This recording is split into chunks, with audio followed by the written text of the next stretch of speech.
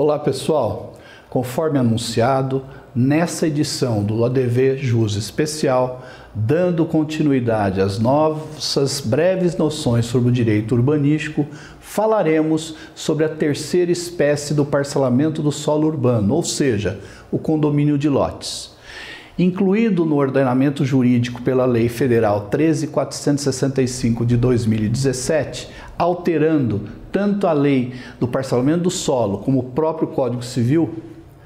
Assim, essa nova modalidade pode submeter tanto as regras condominiais quanto do loteamento, à mercê do empreendedor. Lembrando que a diferença é que naquela não há afetação dos bens públicos, enquanto nessa há afetação, a depender de como se sucedeu o licenciamento municipal. O fato é que essa modalidade joga uma pá de cal nas discussões em torno do loteamento de acesso controlado, palco de infindáveis discussões. A lei de parcelamento do solo local deve prever e regulamentar o condomínio de lotes, estabelecendo contrapartidas municipais, já que não obrigatoriamente haverá criação de novos espaços públicos, como praças, áreas verdes e institucionais, capazes de atender o desenvolvimento paritário das cidades, evitando o surgimento de guetos.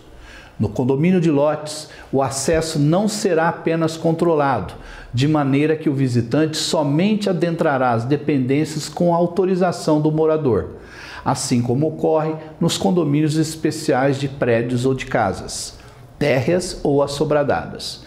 Serão negociadas unidades para nelas, nelas serem erigidas residências às expensas do adquirente, porém sujeitas às posturas municipais e, eventualmente, imposições de cunho convencionais do empreendedor.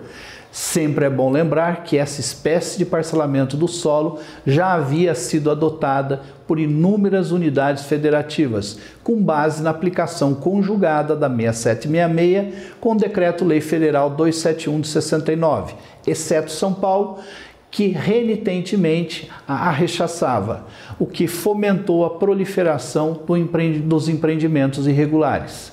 Assim, de forma tardia, porém bem-vinda, a inserção do condomínio de lotes como mais uma modalidade de parcelamento do solo urbano.